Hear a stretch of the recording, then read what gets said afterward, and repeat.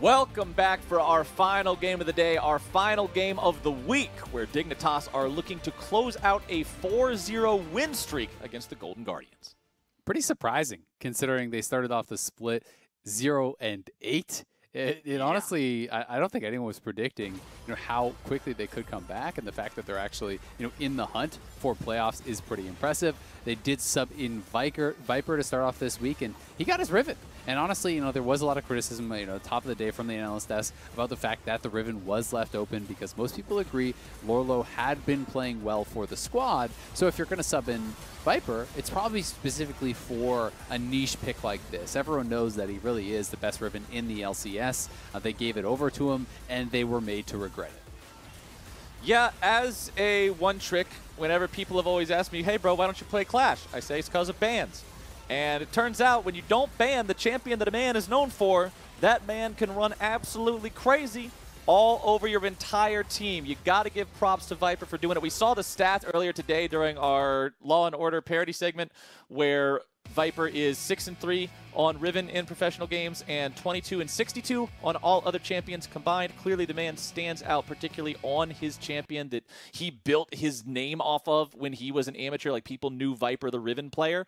So we'll see if he ends up getting to play it again today. I would sincerely hope that teams have learned that you got to keep Riven away from this guy. I know people don't like spending bans on off meta champs, but it's kind of important. So yeah, we'll see. I, mean, I, I, think I think at the end of the day, you know, there's there's more of an argument to not ban it if you're banning other roles. If you're going to ban him out, which is actually what CLG did, CLG I do believe banned Kennen against him, right? So if you're going to do something against him, it should be the Riven. Uh, that is at the very least true. But Dig, you know, is having this resurgence really just in the nick of time because they did start out, you know, zero and eight. They have had to really bounce back, and their last three games have been so much more impressive. You know, the the difference between how they have looked is just enormous. The stats are there to tell the tale.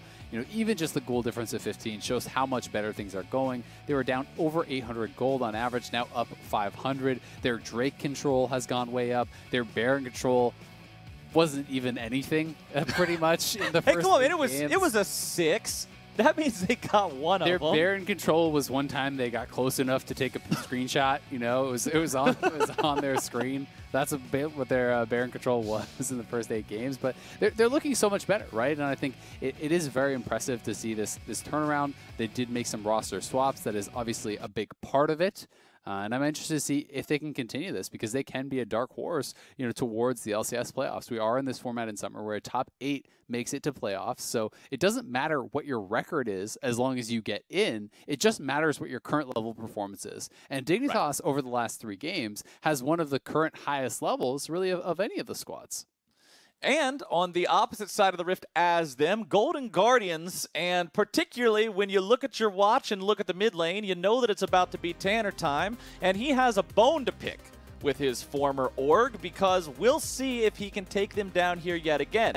The last time that he was victorious against Dignitas, we saw him flash up the emote at the Nexus kill, then tweet ha ha ha ha ha ha ha ha ha ha ha in all caps on Twitter. And today, when the Dignitas org tweeted out who else is going to go for another for a 2-0 weekend, Tanner commented, "Not you, bro. Lol."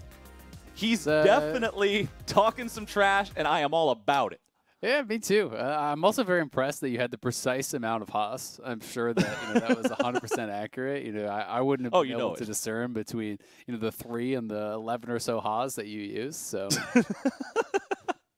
I'm all about accuracy in my reporting here, Isaac. We got to make sure that we're telling the true story mm-hmm. of the teams and the players, and particularly watching Damonte prove to Dig that, hey, you should have kept me. I think that's super fun. I think that's super exciting, and we'll see if he can pull it off here in this game as the first ban of the match will be the Azir against Fenix. I like that ban. Dignitas banning away the TF, and Golden Guardians responding with responding with the Graves. Something I was talking about in yesterday's draft is that You know, when you have multiple players who are basically screaming, ban this champion, you know, ban one specific champion, it's like Fenix, you go up against him, everyone's like, ban Azir or you're trolling. You go up against Viper, ban Riven or you're trolling, right? Well, then there's all these powerful meta picks that you're going to leave open, so you can't always ban everything. Uh, in this case, they are going to leave Riven open. We'll see, you know, if it's even an appropriate draft, if Dignitas has any interest in going towards it. Obviously, he, he, you know, there's many, many, many times where it hasn't actually been banned against him and he doesn't pick it. It's not as though it's a 100% thing and, and you should always ban against him no matter what, because Riven can be shut down pretty hard in some matchups, can also really struggle to team fight against teams that have a lot of easy to land CC, because Riven really does depend on the mobility as well as the spammable E shield to survive. Point and click will do the trick when it comes to those hyper mobile champions. Just pick something real easy, lock them down with. But uh, Golden Guardians, they're starting off here with the Olaf in the jungle for closer. Olaf doesn't get through against a lot of these different teams because it is such a monstrous champion. You can run over the early game, farms at such a, a frantic rate, and is able to solo up dragons incredibly easily. Things like Yuumi are still available, so if they wanted to go for that, that is an option. Wukong going to get locked in here. We have seen Wukong played in three roles in the LCS. Dardoch actually the only one to have played it on Dignitas, and he is actually the only jungler to have played it in the LCS, but we have seen it in a, in a bot lane situation alongside Senna. We've obviously seen it top a number of times, so that is definitely a flex. We know that Fenix is going to be playing the Zoe, though. Fenix on Zoe. Wukong also picked up two of those champions that just drive people crazy playing against them with what sort of things they can pull off with Wukong's double ultimates and Zoe's damage from so far away. But Ooh. the response from Golden Guardians is going to be Old Faithful there in Ezreal. Thinking about a couple of different things here as that third pick, and they'll go with Galio. Galio works very nicely here. You know, it's always good to have a mid laner that has relatively strong wave clear and can actually move to help out Olaf. Olaf wants to be fighting the other jungler, wants to have a mid laner that can back him up. So Kog'Maw coming through here, I'm, I'm assuming that this is still Kog'Maw bot. We have seen Zoe very rarely, like G2 has done this in the past, played played as a bot lane farmer, uh, but I am expecting this to actually just be Kog'Maw bot, played as more of a standard marksman and Zoe mid, unless they want to get really crazy. Uh, it's pretty pretty wild comp though, uh, honestly, already for Dignitas. The only thing I care about, Isaac, is that they use the Kog'Maw skin again. After the last game, I could use another 30 or 40 minutes on the Rift with everybody's favorite Lizard Wizard. Hopefully I get it. Hopefully I get it. I'll just have to be patient and see. You But got a real band band? away. Hey, Riven band away. Congratulations, Golden Guardians. A plus on the exam. If you're banning out top laners against Viper, you got to ban the Riven away. And there you go. More top lane focus coming out from the side of Dignitas now as Camille and Malphite are both banned out. And that leads me to also believe that the Wukong is going top. Malphite is one of the rougher matchups for Wukong if played correctly, so they want to keep that one out of the game. And Thresh will be the final ban here for the Golden Guardians. Yeah, Malphite is really tough for a lot of the melee AD champions. It's actually really tough for Riven as well, so that does get banned out. And Hauntzer, while he hasn't played Malphite, is really, really flexible. This guy has been playing, you know, a different champion almost every single game. So you would have to believe that he could bring that out. With Trundle coming through, you're expecting this to be Trundle jungle, Wukong top, still looking like it should be that Kog'Maw uh, in the marksman role and have Zoe played in mid lane. I like Trundle against Olaf too because of the way that Olaf uses the Ragnarok and loses his bonus resistances. Mm-hmm. If Trundle ults Olaf right before he Ragnaroks, you can actually get even more bonus taken away, right? Because you're sapping a percentage of the larger armor in MR. It's sort of like a baby version of ulting Sejuani when she has Frost Armor and Aftershock. But Yuumi picked up for the Golden Guardians.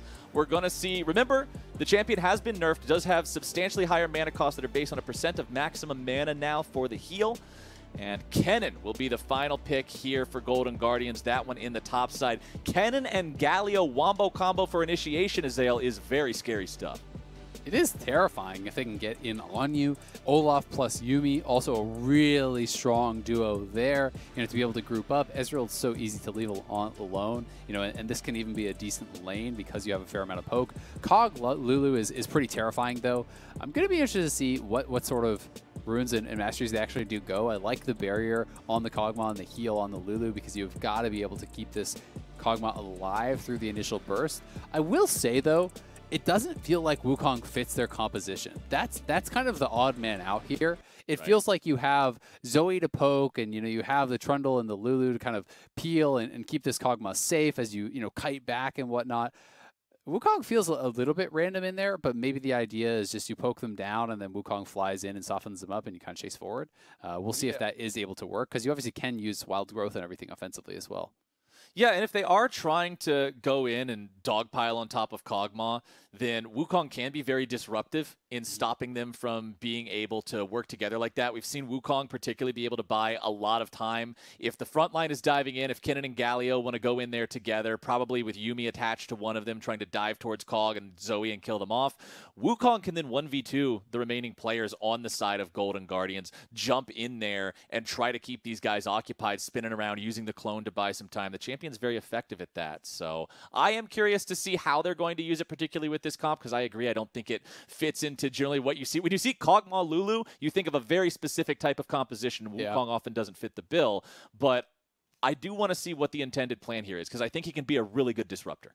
He can, and and they might be able to make it fit. Uh, it's just my kind of concern after having looked at the draft because right. it feels like more you would think. Okay, you want more of like a standard front to back style team fight, right? Because that's kind of how Zoe generally works. That's how Kog'Maw generally works. Even Trundle works that way. Uh, so Wukong's not going to have any die buddy. He may be able to be disruptive enough on his own, but is in a fairly tough matchup, especially early on against the Kennen. These melee versus range matchups can be difficult. So if you're put behind and you don't synergize well with your comp, could be a potential problem. At the same time, on the other side, you know, there, there's a tremendous amount of dive, right? You obviously want to be flanking with this Kennen. You want to send in the Olaf with the Yuumi, speeding them up. Galio ults on top, and you're slamming down and hopefully immediately taking out the Kog'Maw and the Zoe. And I think that's going to kind of be the, the key to victory for that squad can the blitz find the valuable targets before they're able to use those defensive tools to survive? That's the name of the game here right?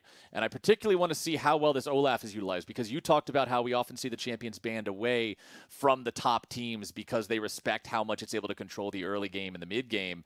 And my question is We've seen Closer in particular be a catalyst for Golden Guardian's success in the past. Can he do it here on this champion and facilitate early Drake control, early river control, invading, setting up opportunities for his lanes to have priority and make moves? I want to see this guy pop off on this pick. Yep, and we are into game, so we'll find out if he's going to be able to do it. He has been really good at getting leads on a lot of champions. Not always the best uh, when he plays those more early game focused champions at closing the game. But I, I do think the fact that he has Yuumi means that you don't have to close the game as early, right? You know, mm-hmm. that's one of the really nice things about this pairing is that it gives more life to that Olaf pick. You can play it into the late game. You can still have success in the late game because of all the added healing and speed and the root that is actually there from that Yuumi ultimate. Also, we get the Kog'Maw skin that I wanted. I noticed that as we were looking through our dynamic camera angles loading into the game here. That was the one thing I was looking That's for. all you were checking for? Else. Yeah, that's like everybody else walking out. I was like, okay, I don't really care if they're doing line of scrimmage or if we're going to have a full five man on five man team fight here at level one. I just want to see if we have the Lizard Wizard, and we do. So he's back into the game. Lethal tempo on him this time around. It is your typical marksman style Kog'Maw as opposed to that AP mid style that we saw in the previous game. Heal on him, exhaust on the Lulu, particularly concerned about making sure they shut down some of the damage potential of either the Olaf or the Kennen when they go in and try to initiate onto him. You can see heal, exhaust both onto to who he's Yuumi as well. Sometimes we see Yuumi's take Ignite if they want to be a little bit more aggressive, but not this time around. Teleports on three out of four of the solo laners here this time around. Fenix is opting for the cleanse over the teleport here on his Zoe, and there is a Summoner's Spellbook there on both Kennen and Galio. Both solo laners of Golden Guardians will have the opportunity to switch those spells around, and we'll see how creative they can get with those this game. It is interesting to note that there's no relic shields taken down in the bottom lane. You know, that is by far the most common option these days. People often find it too hard to consistently keep that Spell Thieves on cooldown, and if you're not always getting that poke out, you just get much better gold generation. You know, from having that relic shield, it's pretty much guaranteed. You're always going to have the ability to proc it. So this this is a little bit of a trade-off. You know, you get the extra mana regen, which is really nice, because Yuumi and Lulu can both be very mana hungry, but we'll have to track how late they actually do complete that support item because it really can delay the completion of that, that Sightstone and being able to have those wards can mean a lot. Checking in on where the junglers started here real quick, it looks like both junglers are working towards the bottom side of the map here. Dardoch going from his red buff straight into the bottom half of the map, making sure that he secures that top side valuable camp before leaving that area in case Closer wanted to do some kind of jungle invade early on. But now Dardoch will head towards that top side river. He's in really good shape. Trundle can clear through these camps in a super healthy state, and Olaf likes to get low HP just to make sure he's speeding up the clear. Let's see if Dardoch can make a gank happen here onto Damonte. Fenix could seek out that Sleepy Trouble oh, bubble. Nice use of the pillar. Damonte flashing out to keep himself safe. That was perfectly timed there by Dardoch, waiting for that uh, charge back from the Galio, he always swoops back before he actually punches forward. So you can actually end up getting further away from your destination if you're immediately interrupted on that pullback. So nicely timed pillar does force out the flash. And that's going to be pretty good from them. This this clear from Closer was actually so fast, though. He did full clear and scuttle by about 330. So, you know, seven camps essentially done already at this point in the game if you're counting that scuttle and he's going to be back for an early base. He grabs up that chilling smite. So that allows you to have much more of a, an effect in these early games. Uh, you do have the opportunity to then try to chase people down if they're out of position. It makes your ganks so much more effective Right. He went for a better early path, more efficient, more potentially risky because he got so low HP to speed up that clear pattern.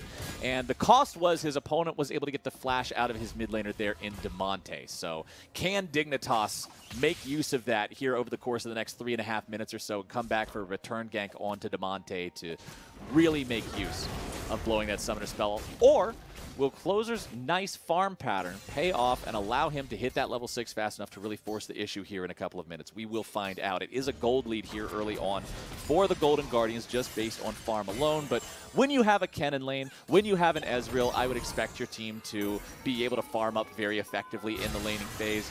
Fenix gets a little bit of damage down onto Damonte there, not a whole ton. It's not like he's really worried. Fenix is completely out of mana, and Damonte can just clear the rest of the wave away as Johnsun and Aphromoo are getting pretty familiar with the scenery underneath this Tier 1 turret, but they're fine to farm up. Kog Lulu is not the early game menace. They are all about that scaling you are scaling always when you're playing this style of bot lane. So as long as they're farming out, as long as they're not getting bullied too hard or losing the turret, you can be pretty happy about your situation.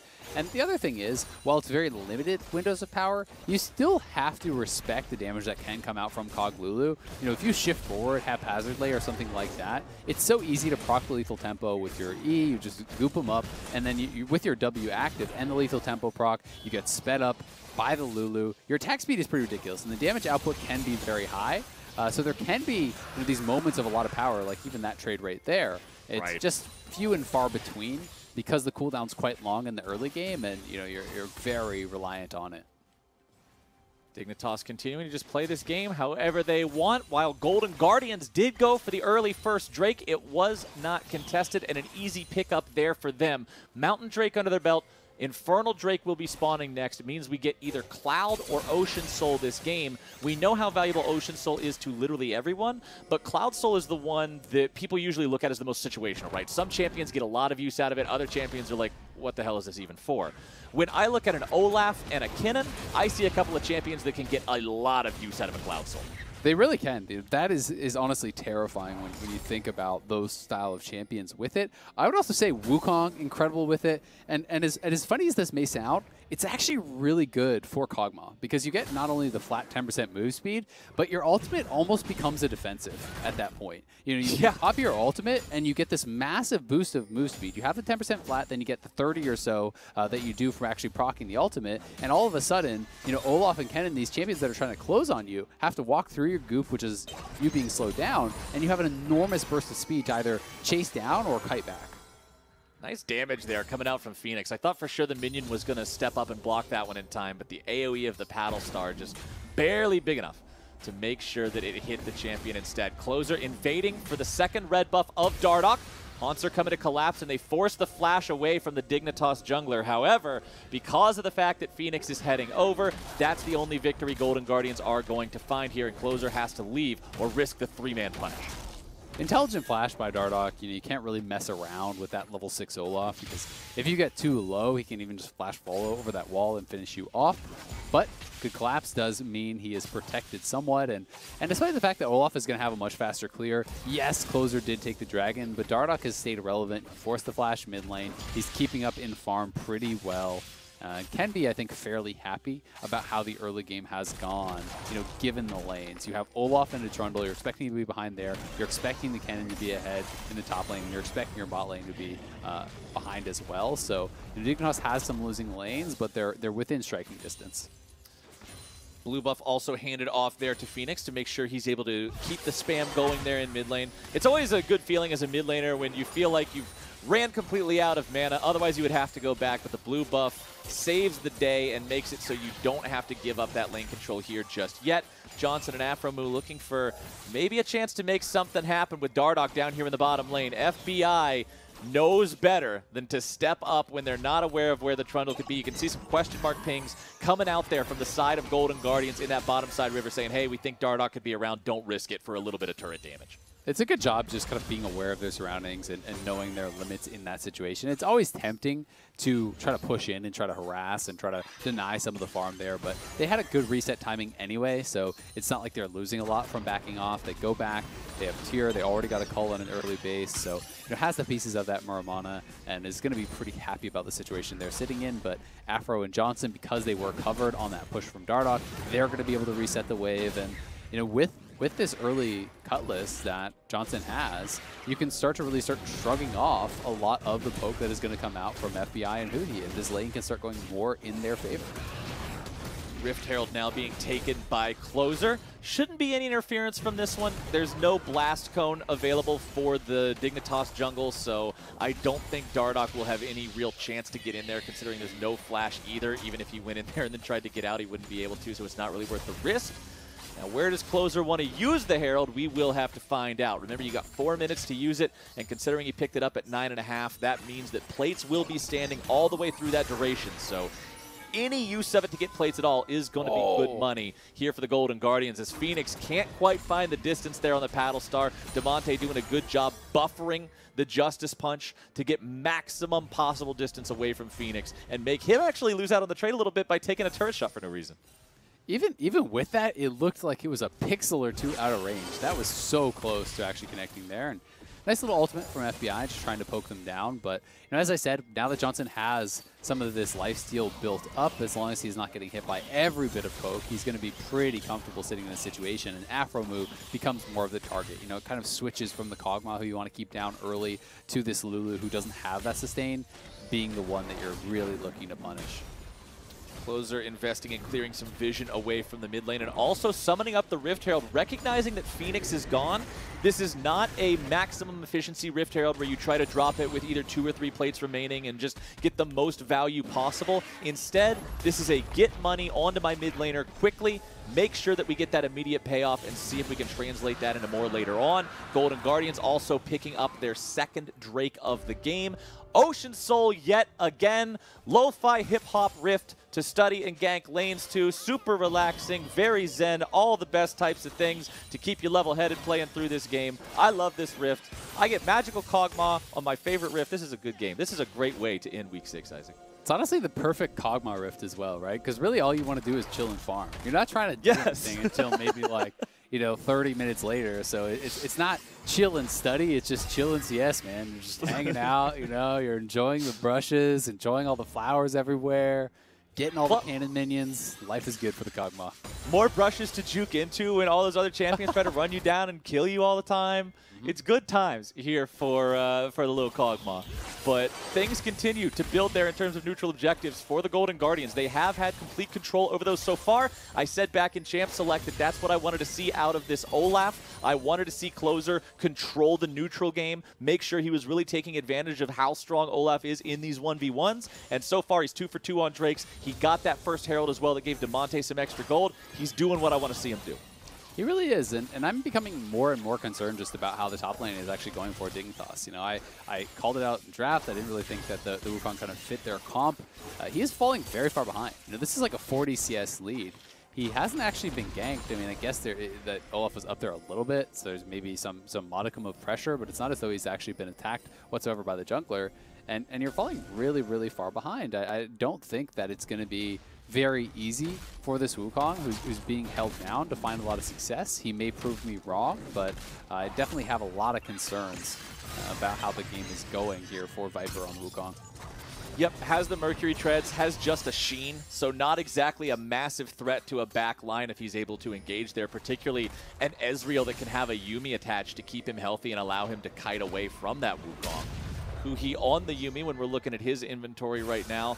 Doesn't really have a lot that he's working with. A couple of Fairy Charms, a Potion. Now upgrading that into the Chalice to make sure the mana regeneration is there. And regeneration will be the name of the game because for those of you who missed the memo, Yuumi does have a significant nerf on the mana cost of her healing now. It costs 15% of her maximum mana.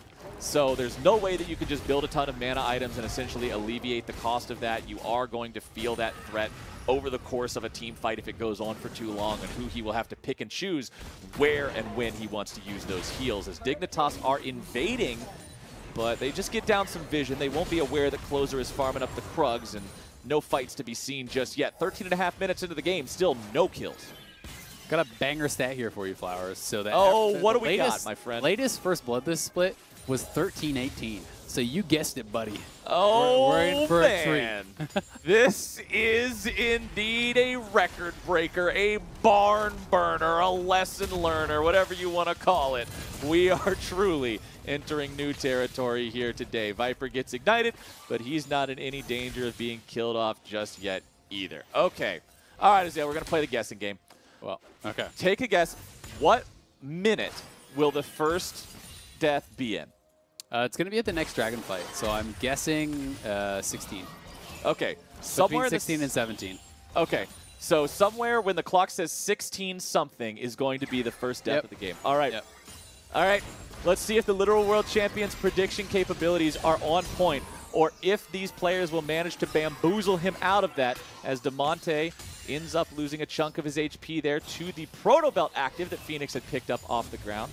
You know, sometimes I get confused when I look at Zoe. I'm like, oh, Proto Belt, that's an interesting tech choice. We don't normally see Zoe's take. Oh, wait, never mind, it's Zoe.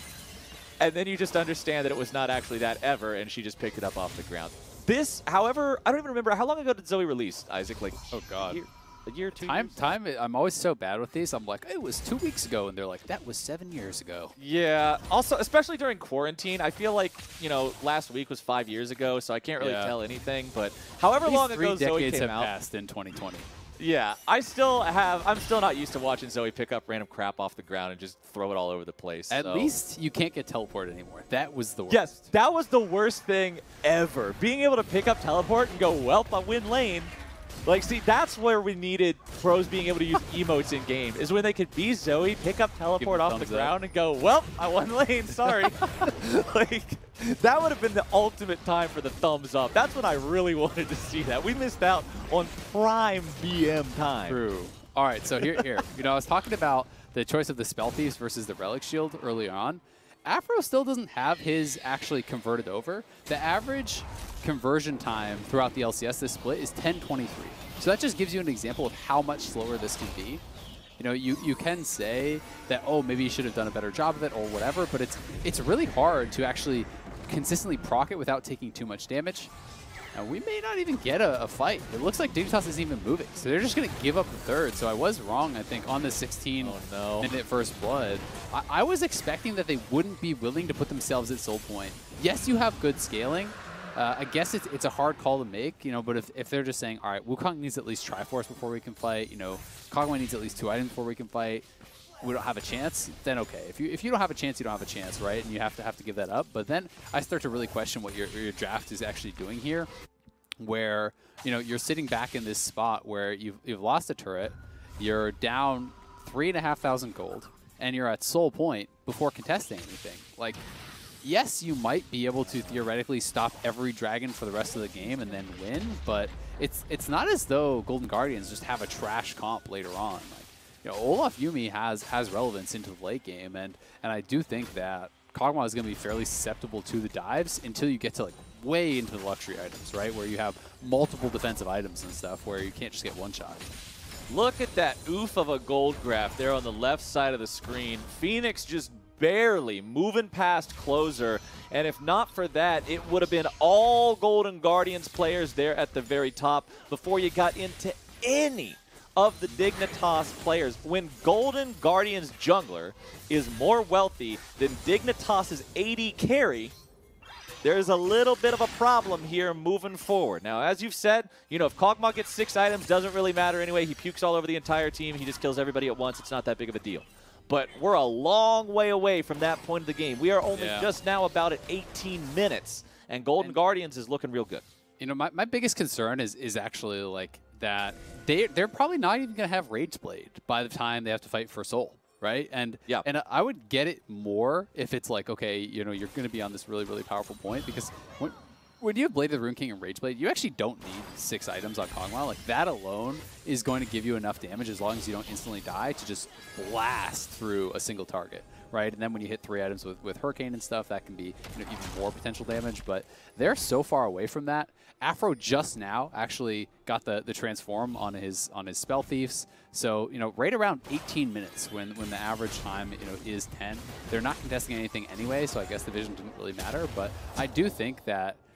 uh, like, I was I wasn't flaming. I'm actually Look, I. I know it But- wasn't supposed to be flame, But it but kinda is, yeah. it, it kind of kind of comes across as flame when it's like, well, at least if there's going to be a game where you don't have wards in time, it should be the game where you don't need them anyway because well, you're the team playing. didn't buy items, Like- but they're not doing anything anyway. So, So really, it's not like you need them. I mean, Yeah. when you're just farming minions.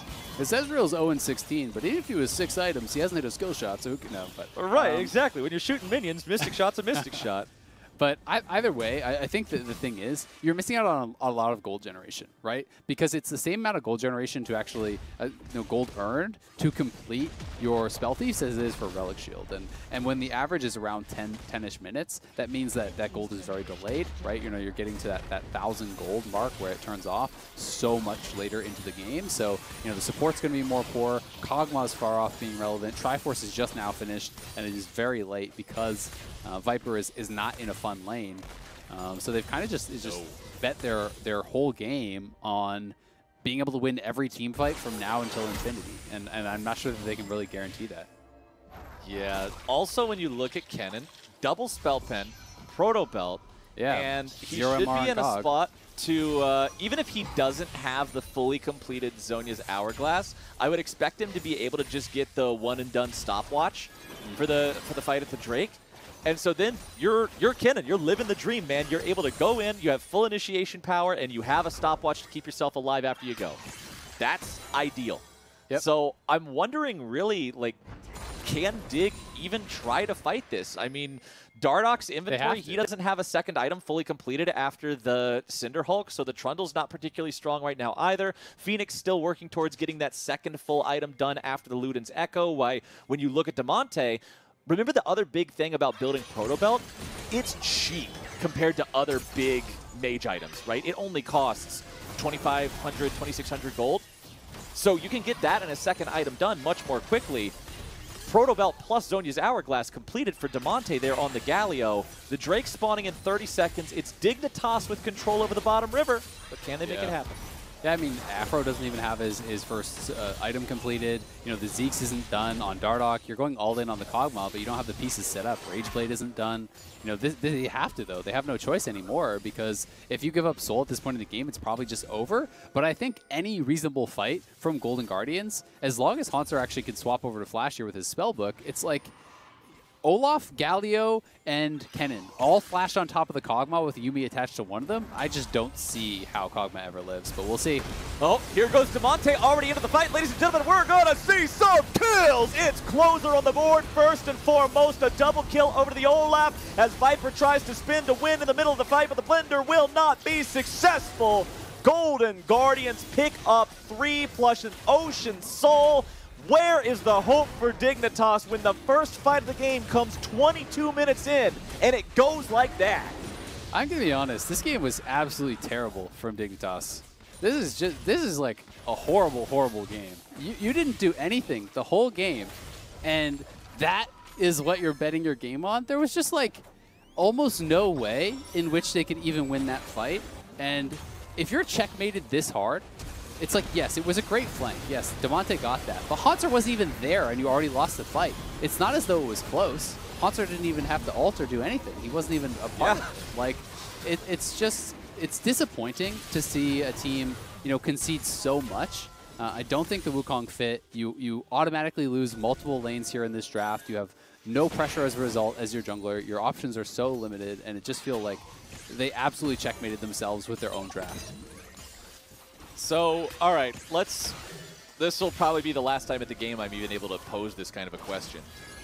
What's the play for Uh, Dignitas? I mean, the play is, is wait and pray. Like, the play is actually just, okay, we're scaling, right? Like, buy every support item in the game, get Night Vow and Zeke's on Trundle, get, you know, Redemption and Ardent Censer and like every single thing on your Lulu. Hope that Johnsun can get really, you know, deep into his item build and that the game isn't over by then. And, and if you can get to that point where Kog'Maw is just insta-killing, you know, the Olaf and, and whatnot, then, then maybe there's some hope.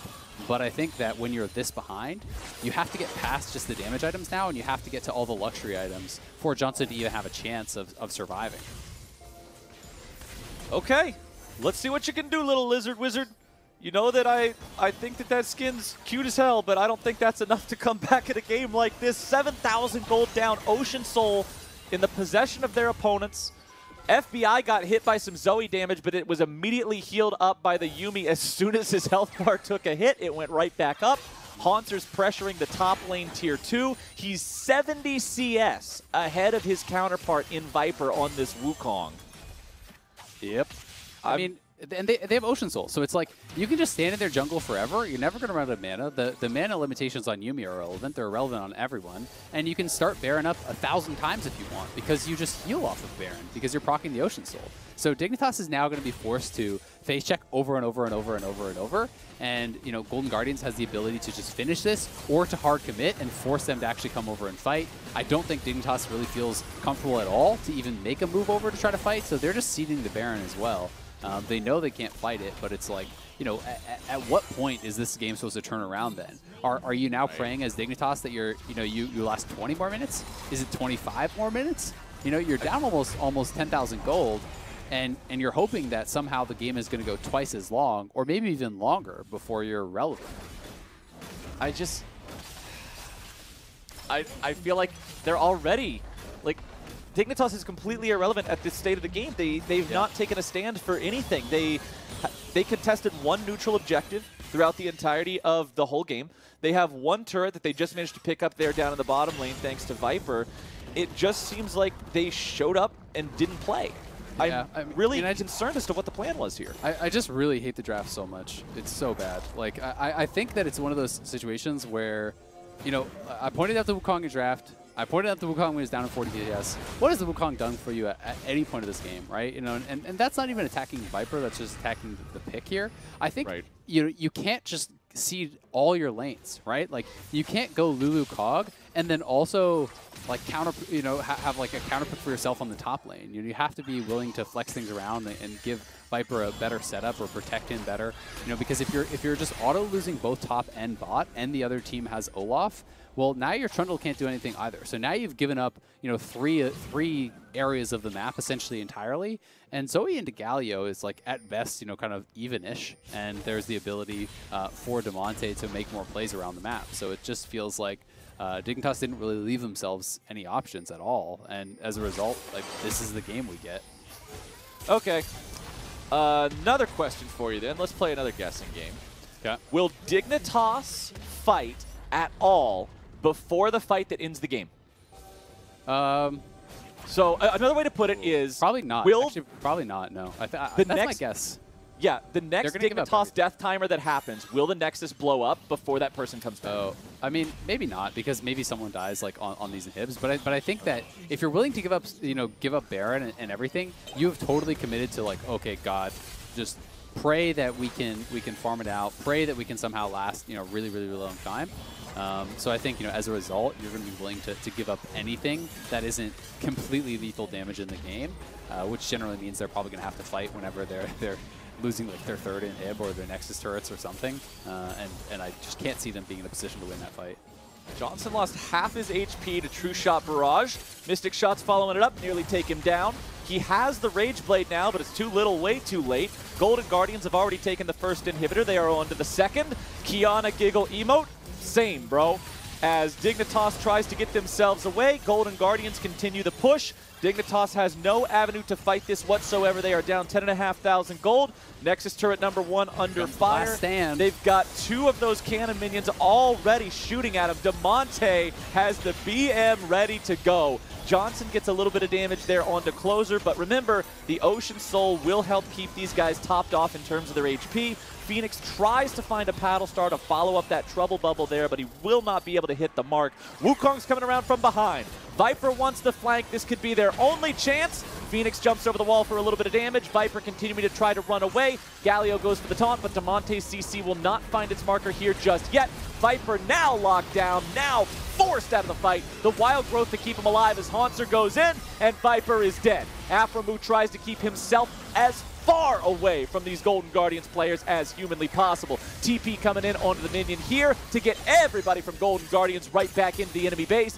One Nexus turret between them and their final objective here as Johnsun tries to hold the line, spitting out some of those auto attacks. The attack speed is impressive, finding some damage there onto Hauntzer, but not enough to really put him under any real threat. FBI again going to be healed back up to full thanks to the Yuumi of Huhi. Dardoch tries to get himself away. Damonte once again going to be looking for the taunt. It's over. That's all she wrote. 4 to 0 final score. Golden Guardians win the easiest game of their lives. Oof. That's all there is to say. I mean, Dignitas never contested a thing. Yep. Yeah, I, I'm I'm really disappointed with Dignitas. Uh, the, the Wukong made no sense. I, I think I think that they just they just gave up way too much, you know, in in their draft as far as laning power, and, and they weren't really even attempting. It's like you know, it, it's one of those situations where that, that felt like almost a classic example of, of playing not to lose, right? Where you're saying yeah. at all, all times of the game where you're like, okay, you know, we have weaker champions at this point in the game. We can't we can't fight. Um, you know, we have uh, a disadvantage. We're pushed in here, so let's not contest that. Um, and and when you get too far into that mindset, you're overlooking the fact that if you're doing nothing, you're essentially just guaranteeing you lose, right? So sometimes even if you have a, a smaller chance to win that you would like, you know, even if it's say 40-60 or 30-70, if that's better than your overall chance to win the game otherwise, you still need to go for that, right? Yeah. And they did at Lesser least two attempt. evils. Yeah, exactly. They did at least attempt to fight at Soul, but uh, they just gave up way too much. They didn't contest anything, and they weren't even close to getting to to the items that they really need to get. So uh, I'm very disappointed uh, in Dignitas from that game. I'm sure they're disappointed in themselves as well, but especially because they've actually looked good, right? So that, that's Right. why I'm kind of like, what happened? This was just uh, a disastrous game because they had three games in a row where they actually looked really good with this new roster, and they it felt like they were really turning around. So um, we'll see if this is just a blip in the radar or if it's uh, going to be more more of this from Dignitas. Yeah, we came into the game today talking about how this team started off 0 and 8 and since then had gone 3 and 0. If they managed to win this game, that was going to be back-to-back weekends that were nothing but wins and that was looking really cool for this squad. But this game just completely was off every mark. So Dignitas unfortunately meets with tragedy, and Golden Guardians showed that when their opponents aren't going to contest anything, they will end the game rather swiftly. So we're heading into a quick break. On the other side of that break, we will break down the match with our analysts. Don't you go anywhere. We'll be right back.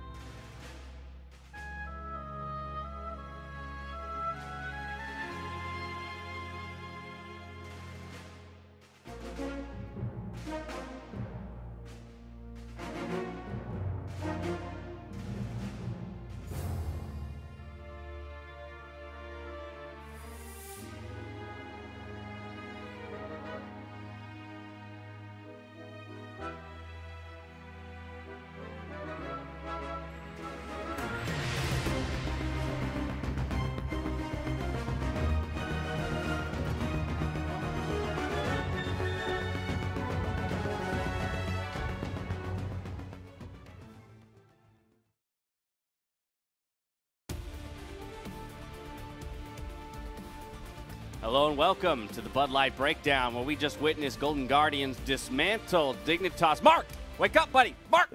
Oh, Mark. Are we hey, back? Mark. Yeah, hey. We're, we're I'm back, ready. buddy. I'm Game's over, buddy. Game's over.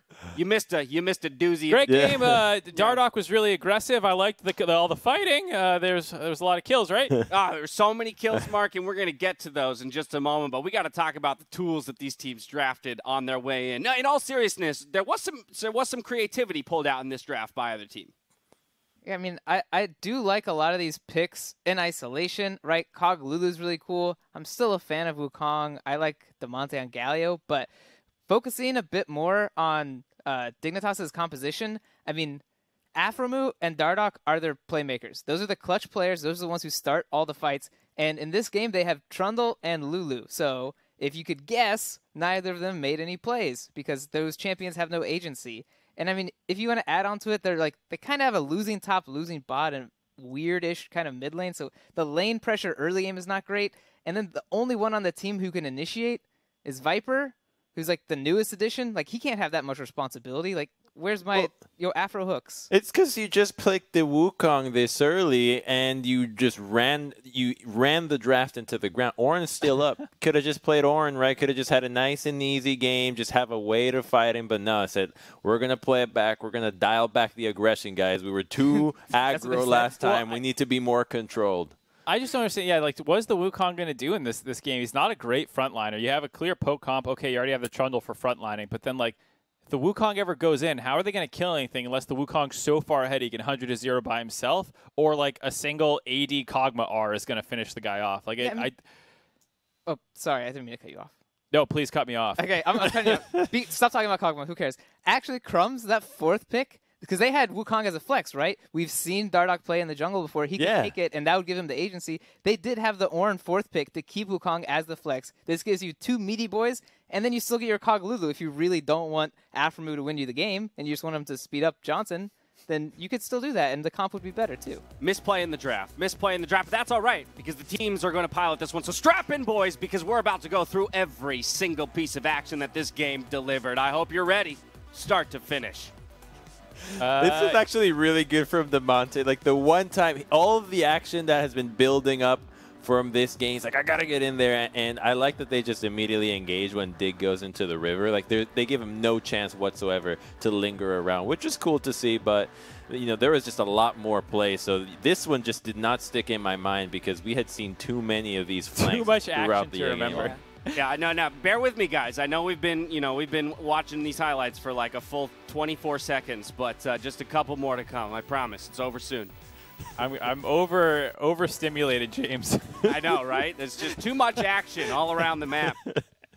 Uh, uh, I will say, like, I don't blame Golden Guardians. You know, they have a bunch of naturally winning lanes. They had, uh, you know, a 25 CS lead in their top lane. They had a 5K gold lead before that Baron or Dragon fight even happened. So, like, I don't blame them necessarily. I think Yep. a, a, a stronger team probably could have blown Dignitas out of the water faster. Right. But you know, if you're gonna win 100% playing that way, and you're a struggling team and you're below 500, I understand that. Yeah, approach. you're right. Okay, you heard it here first, ladies and gents. Mark Z does not blame Golden Guardians for their own victory. I meant for the pace of the game, James. I don't blame them for the pace of the game. Oh, they got every dragon, they got every herald, they're crushing CS deficits. Like Yeah, they're just there's waiting for the enemy to show up. It's like they keep poking at someone's like, Are, is there somebody there? Like we're not too sure, but okay, I guess we'll take it. Yeah, Dude, they Joe. couldn't even force him. At one point, Closer is taking a Herald while Dragon spawns, and once the Herald is dead, the Dragon's alive, and then Dignitas just runs away from the Dragon. So this guy solos the Herald with Dragon spawning Yeah. and makes it to Dragon before the other team takes it. So it's like, yeah, Dignitas just didn't want to leave their towers. The towers are nice and cozy and warm, so they Yeah, you ever fought a there. dragon, Probably. It's a scary endeavor, my friend. All right. Anyway, let's talk about a player who that we've actually been really impressed by so far in summer split, and I feel we haven't necessarily given him his due in terms of that time and acknowledgement. FBI for Golden Guardians is playing the top tier League of Legends. Yeah, he's been uh, crushing the bot lane. I think statistically, if you go down, he probably has the best on paper resume this split uh, for laning phase. He's been dominating. Uh, he's been doing it pretty quietly. I feel like there's so, so much conversation around closer, and if Damonte is working well around him, and some of the mistakes that happen in the later game uh, that have happened, excuse me, with with uh, Huhi, but i- individually, he has been so good. He's gotten them a ton of gold advantages over the course of, of this split and can be relied on no matter what the matchup is to almost always be ahead. Damage per minute taking a hit from this game. You can see there on the Oh, right no. side, but that's due to the NX. That's inaction. Dignitas victory right there. I On think that- yeah. Too. I think Oh, the no. things you love to see, right, is that CSD being extended even more, the gold differential being positive, and even his damage share, while the damage per minute being low, it still seems to sync with what his role is on the team. He is a, you know, a high damage dealer for this. Wait, It's how much damage percentage. happened It's this game? percentage. If, It's percentage. if he did 33% of the damage Oh. and there's only 200 damage done, okay, Per I know, minute, I know why. minute. I know oh, why. per minute, per minute. Okay, It's yeah, I was because- like, wait a minute. That wasn't his total damage of the game, Mark. Oh, It was his old. was like, was there less than a thousand he was using? True Shot Barrage like all the time and it hit multiple members, so that's how he kept the numbers up. There you go. There you go. All right. All right. That was a good laugh to close out the day. This week's MasterCard Player of the Week goes to a star who stepped up big time in a huge week for the rising Team Liquid. It goes to TL's CoreJJ. Or JJ has been so good. Sorry, we have to energize ourselves again. His bard this weekend was absolutely disgusting. I know a lot of people are looking at the vision score, and I see some people saying, "Oh, Zombie Ward was inflating that." But even accounting for Zombie Ward and Bard's usual roam-heavy playstyle, he's still outpacing other people who are able to use those. If that wasn't impressive enough, his ability to constantly stipe out Poom to start fights and kill people, like even though Jensen had a lot of the kills, those were often off the back of CoreJJ's play. It's going to be so powerful for them moving forward into playoffs when they have a bard that needs to be addressed in the ban phase because not a lot of other teams are able to pick this champion up and it can definitely be taken in the first few rotations and if you do you know what you're getting out of core jj incredible play out of him this week and with it so moving forward teams have to either pick it up or suffer a disadvantage in the draft when they face team liquid A world champion and former LCS MVP finding his form at the end of week six is a scary thing for the other teams in the LCS. Now, MasterCard is collaborating with the LCS to award lucky fans with a couple of personalized experiences. One winner will get to play and learn with free from the comfort of their own home, and five other participants get a Q&A session with yours truly. All you have to do is use and save your MasterCard in the League client. Contest runs till July 19th. That's today, by the way, in case you were wondering, July Oh. 19th. So you're running out of time. Wow. Get in there last minute. For more information, check out the full article on lolesports.com. As we wrap up the weekend, though, let's take a look at the Samsung SSD Fast 5 leaderboards to close things out. There had, uh, rather, there were two new lap times to join the leaderboards this week. The first of which comes from Sven in the bot lane with a uh, first with a lap time of 2032. That's to 10k gold. And then Huhi first to the uh, lap time of 841, as you can see there on his item upgrade. Let's talk ADCs because I love the, the seconds that are being taken off these laps to see how quickly teams can accelerate their bot laners. Wow, I mean, I think a big part of it, you you're actually hitting these thresholds, not just farming. You have to be involved in fights, and Right. that is what happened in the Cloud9 game. Sven was able to get quite a few early skirmishes going his way, which turned into him being able to farm. And even when you thought you shoved him out of lane, he'd be able to stick around. Somebody helps him out and cashes in on all those waves. It's also not even a bad like tier list. If you're gonna go, who are the best players in the 80 carry position this split? You'd be like, okay, yeah, Sven, Tactical, Double F, sure, Bang, Actually- Johnsun, yeah, they're all top five. You know, You know what's interesting? The top four laps are the top four teams in the exact order Dun, that dun, they come. Essentially, it's Cloud9, Team Liquid, then TSM, then Evil Geniuses. Those are the team rankings as well. So it, there seems to be some amount of coincidence in, in that case. Uh, but yeah, I'm, I'm curious. Can anyone get under that 20 mark? As you called out, Crumbs, I think it's going to rely on a lot of heavy early game fighting for uh, some of these new times to get beaten. Yeah, I mean, I gotta say, like most of these teams are not playing like a bot-centric like meta at all. Even though I know it's not a bot-centric meta, we usually see one team at least is like you know really loves hugging that bot river. But none of these teams are really playing that way. So if we do get into a game where we have some like volatile bot lanes and they want to fight, that number is gonna go way down as soon as we get more kills in the bot lane. Let's pull up the standings, take a look at where the teams stand coming out of week six. Three weeks to go. Cloud9, Team Liquid stand atop the table, 10 and 2 for each of them. A lot of separation now between them and the rest of the team. So they're sitting pretty pretty uh, here with the final three weeks around the corner. On the flip side, though, that means it's anyone's game when it comes to playoff picture. Remember, top eight make it to playoffs, so only two will miss. And with one game between Dignitas Immortals and 100 Thieves, it's really it's really anyone's ball game. I feel like EG could be a dark horse here since they just beat C9, which counts for a lot since they looked really good doing it. And it's a new roster. We're like, okay, what are they going to bring to the table? We already know they can have completely terrible drafts or actually beat Cloud9. So if they can just go more towards the beat Cloud9 side, they could easily cement themselves onto that third place spot since the competition looks shaky. Yeah, I want to take a look at uh, one player as well who reached a pretty significant career milestone this week. Wild Turtle hit his 1500 regular season kill, a milestone that only Doublelift and himself can claim. This deserves to be celebrated even despite the results of FlyQuest matches this weekend. Congratulations to Wild Turtle, and welcome back to the LCS, my friend. Pressuring this turret. Your Power Evil's around, so yeah. they got to be careful.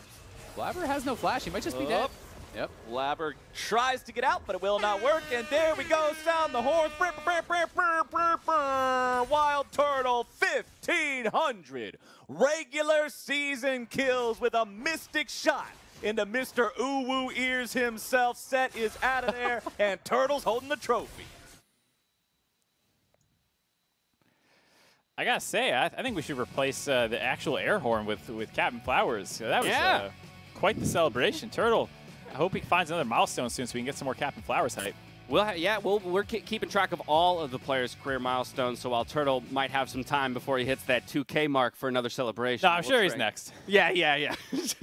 he got one today. He's getting 500 next week. Uh, but really solid job, Wild Turtle. It's been an absolute joy to follow your career uh, as it has spanned quite some time here in the LCS. The LCS returns next Friday with Evil Geniuses versus Immortals to kick things off, and Team Liquid versus FlyQuest shortly after that. Important note, we've got Team Liquid versus C9 on Sunday. So that's a battle for first place between those two teams. Mark it off on your calendar. If you can't wait till Friday, don't worry. Tune into the dive, this or that, Academy Rush, and more for LCS action all week long. That's going to do it for us here, though, on the LCS. Now, on behalf of myself, the casters, the entire remote broadcast crew, thank you for watching, and we'll see you over on twitch.tv slash Bud Light for the Bud Light League Lounge. Good night. Good night.